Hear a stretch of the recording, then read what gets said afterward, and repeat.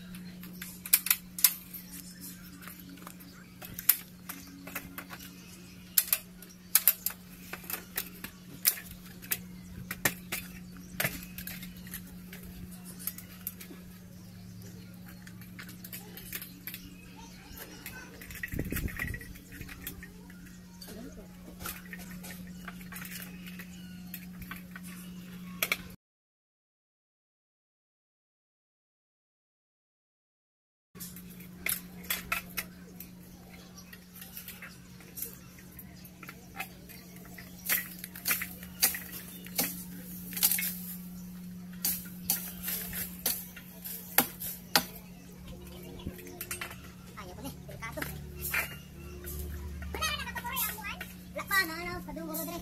Adi ka pala sa kuha mo. Asa niya ni? Pero nipis ti, delikado ka ba kay Birbir? Ano